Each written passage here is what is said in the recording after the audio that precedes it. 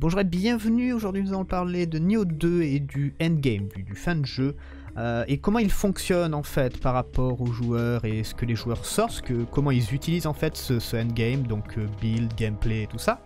Euh, et surtout je, vais faire cette vidéo parce que, alors une, c'est un américain alors PWAR Gaming, Poir Gaming, euh, qui fait des, builds la, plupart du temps, qui sont très très bien, je vous invite à aller les voir, bon bien sûr c'est tout en anglais évidemment, euh, mais il a fait une, sorte de vidéo critique en fait sur Nioh 2 et les problèmes de Nioh 2. Alors sa vidéo fait 20 minutes, il parle de, tout en fait, donc euh, ça va l'histoire, les personnages et tout ça, et ce qu'il fait c'est qu'il compare beaucoup en fait au premier Nioh, alors personnellement j'ai pas assez joué au premier Nioh et honnêtement ça ne m'intéresse pas vraiment en fait de comparer les deux jeux tout le temps, est-ce que l'histoire de William est mieux que l'histoire du de Nioh 2, etc.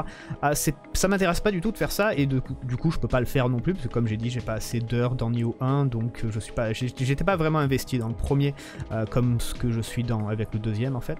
Ah, donc on va pas parler de ça. Par contre, il parle un moment d'un point qui m'intéresse beaucoup en fait. C'est le endgame, c'est les builds. En gros, on va parler de ça.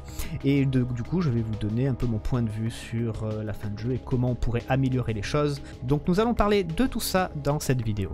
Alors déjà pour euh, la vidéo de Poire Gaming, bien sûr, dans la description vous pourrez trouver un lien pour sa chaîne et pour la vidéo, donc allez la voir. Je vous invite à aller la voir, elle est vraiment très très bien, donc euh, je critique pas la personne, mais c'est juste les propos par rapport au gameplay, à la fin de jeu et euh, aux joueurs en fait, littéralement hein, de, de Nioh 2.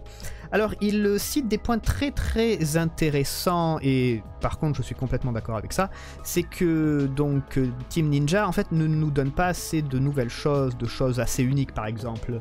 Euh, avoir des sets d'équipements qui vont nous donner des habilités un peu spéciales ou avoir des armes euh, du genre légendaire, un peu comme les MMORPG, vous savez, vous passez du, euh, du gris au bleu, du bleu au vert, etc., etc. Et avoir genre des armes en fait un peu légendaires d'un certain yokai ou d'une sorte de boss pour avoir des habilités un peu spéciales dessus. Ou alors rajouter des habilités sur des noyaux de yokai qu'on peut récupérer dans le jeu. Voilà, donc des choses uniques. C'est vrai que ça manque dans, le, dans le 2, dans Nioh 2.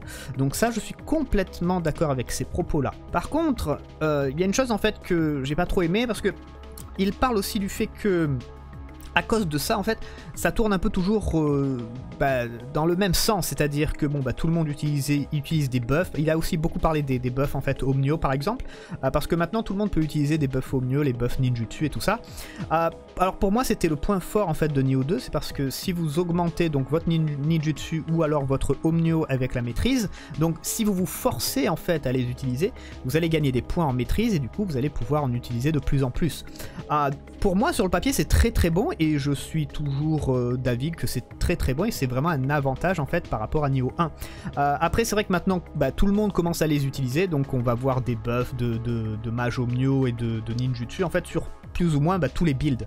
Euh, et après il dit aussi que du coup en fait les, buffs devraient être nerfés parce que bah, tout le monde a besoin en gros d'être buffé et de débuffer pour être efficace, pour faire des gros dégâts et tout ça. Et ça, je suis pas vraiment d'accord. En gros, après, il dit aussi, bien sûr, que le, manque d'originalité, comme, comme j'ai expliqué, par exemple, avec des armes légendaires ou des trucs comme ça, euh, ça facilite pas les choses, c'est vrai, je suis d'accord avec ça. Mais par contre, je pense que le problème vient pas vraiment du jeu en lui-même. Alors oui, il manque encore des choses. On a encore deux DLC hein, qui vont arriver, donc il y a sûrement des nouvelles choses qui vont encore arriver. Je pense que c'est un peu tôt pour, euh, pour vraiment clouer la, dernière planche du cercueil pour Nioh 2. Euh, mais il y a une chose où c'est que je suis pas vraiment d'accord. Je pense que le problème vient surtout des joueurs. Donc le problème du coup vient de vous, de moi, enfin surtout vous évidemment, euh, un peu moins de moi. Euh, je pense que c'est parce que les gens en fait sont trop habitués à Nioh 1 et passent leur temps en fait à le comparer avec Nioh 2. Alors oui, je suis d'accord, c'est le deuxième jeu, donc évidemment qu'on va le comparer avec le premier.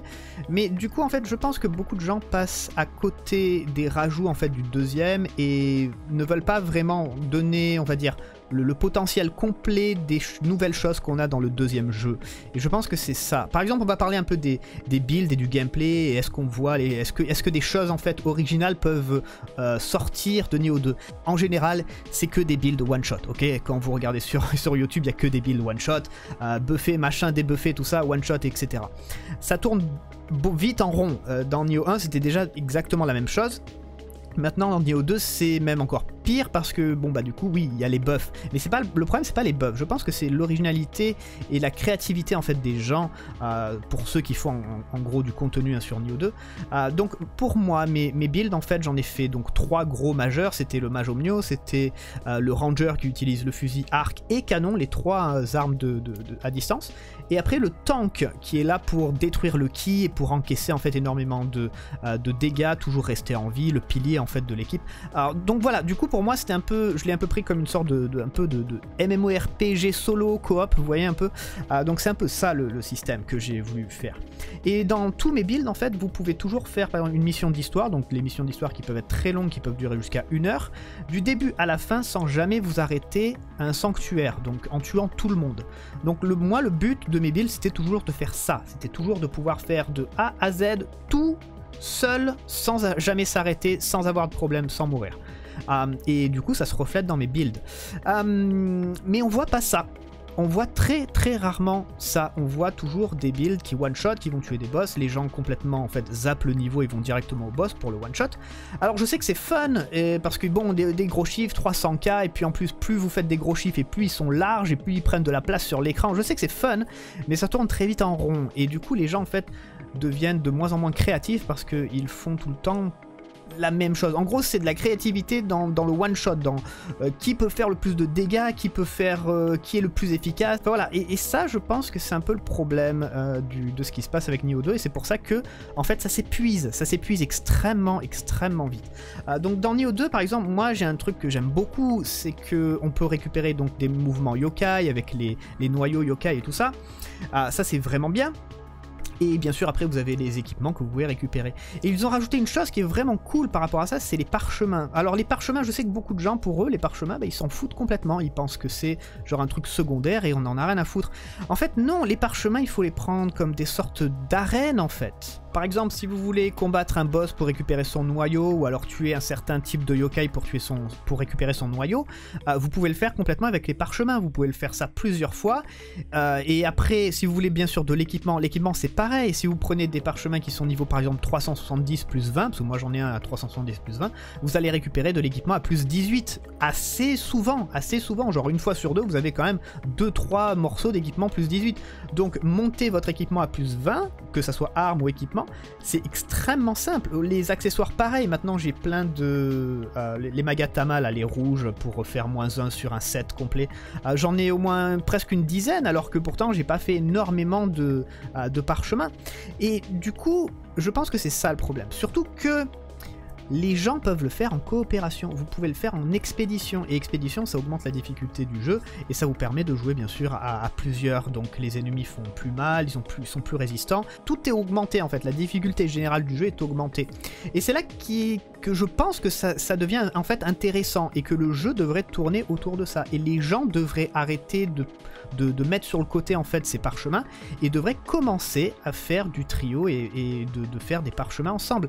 Parce que la nouveauté c'est ça, c'est que dans Nioh 2 nous avons ces sortes de parchemins qui sont des sortes d'arènes avec plusieurs types de monstres et vous pouvez très facilement en fait récupérer que ce soit noyaux, équipements, euh, armes, accessoires, tout ça en fait. Tout ça c'est ce que vous voulez en fait, c'est ce que les gens veulent. Donc ça sert à rien d'aller farmer des missions, ça sert à rien de faire même les journalières, spammer les parchemins et faites-les à plusieurs. Et aussi, c'est que vu que la difficulté va être augmentée, parce que, on va être honnête, le rêve du démon, c'est pas, pas très dur, ok? Le, rêve du démon, il y a toujours les boss qui se font one-shotter. Euh, j'ai toujours encore vu des, builds que, que ça soit avec la hache, le katana, euh, n'importe quoi. Vous, les gens quand même arrivent à faire 204 dommages, 304 dégâts. Euh, et les, les, boss se font one shot. Donc la voie du démon n'est pas difficile. Par contre, si vous faites de la voie du démon en expédition, là ça commence à devenir intéressant et difficile.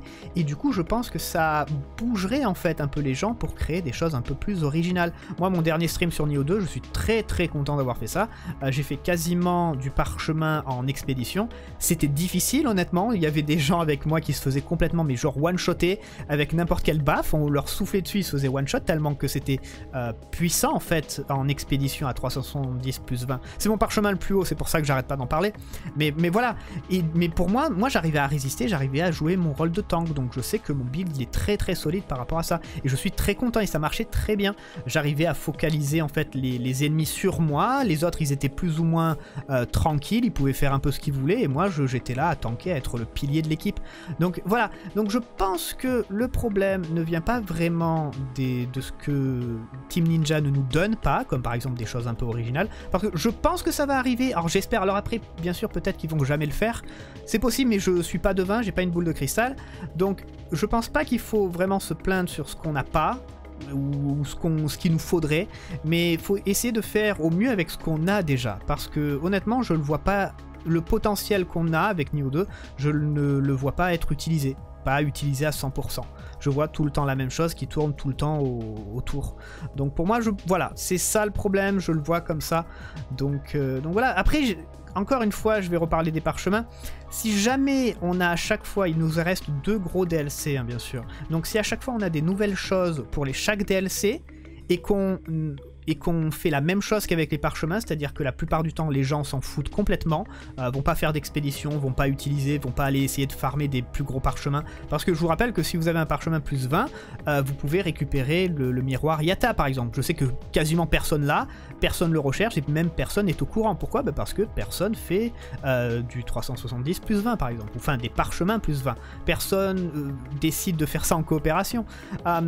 mais voilà, mais si jamais on a à chaque fois une nouvelle chose pour chaque DLC et qu'on la traite exactement pareil que le coup des parchemins, ça sert plus à rien de jouer à Nioh 2. Ça sert vraiment plus à rien de jouer à Nioh 2 parce que tout ce qui vont nous sortir, en fait, tout le monde va regarder ça comme si c'était de la merde. Voilà.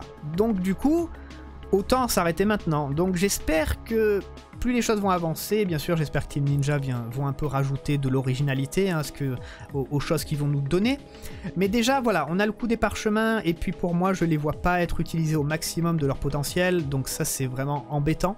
Euh, donc j'espère pas que ce sera la même chose pour tout le reste. Et voilà, pour le moment, pour moi, je blâme un peu le côté des joueurs. Je pense que c'est plus la faute euh, des joueurs qu'autre chose en ce moment. Donc voilà, ça sera tout pour cette petite vidéo. Après, euh, honnêtement, côté communauté FR de Nioh 2, il n'y a personne il y a très très peu de gens. Il y avait une personne que j'ai vue, j'ai envoyé un message pour, leur, pour lui dire euh, peut-être que on pourrait lier les communautés par rapport à Nioh 2, c'est intéressant et tout ça. En plus, c'est une chaîne beaucoup plus petite que la mienne. Euh, j'ai eu aucun, aucune réponse. Je me suis pris un gros vent, j'étais super content. Euh, donc voilà, donc encore une fois, communauté FR, que ça soit sur n'importe quel jeu, même sur Nioh 2, apparemment c'est pas trop ça. mais bon, je connais quelques anglais qui sont, qui sont plutôt cool et qui font des, bonnes vidéos, comme par exemple Power Gaming. donc voilà, ce sont des, des bonnes personnes qui vont souvent répondre aux commentaires et euh, euh, après il y a une, autre chaîne aussi que je regarde souvent, Elfen Show, qui est aussi venu même sur, euh, sur un de mes streams quand je, je, streamais en fait sur Twitch à l'époque. Donc très très bon américain qui, aussi qui répond et qui aime bien parler de, de Nioh 2. Donc voilà, du côté anglais honnêtement la communauté est là, mais après pour le côté FR il y a personne. En tout cas, ce sera tout pour cette vidéo. Merci beaucoup d'avoir regardé. Dites-moi dans les commentaires ce que vous en pensez. Est-ce que j'ai raison? Est-ce que j'ai pas raison? Ce que vous voyez, vous, ce que vous voulez, les changements que vous voulez voir, euh, les choses comme ça. Donc allez-y. Merci beaucoup d'avoir regardé. Ciao, ciao. Passez une bonne euh, journée, soirée, ce que vous voulez. Ciao